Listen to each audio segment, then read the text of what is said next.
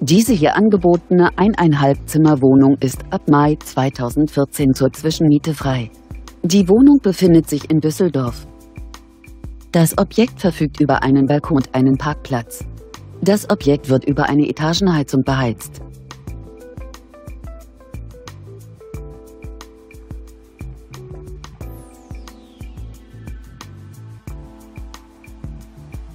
Die möblierte Wohnung umfasst eine Fläche von ca. 42 Quadratmetern.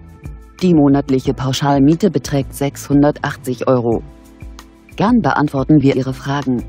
Kontaktieren Sie uns.